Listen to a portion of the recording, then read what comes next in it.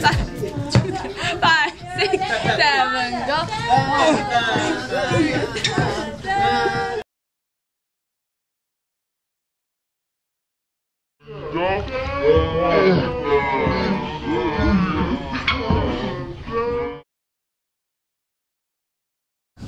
So Freddy, what what are we doing today?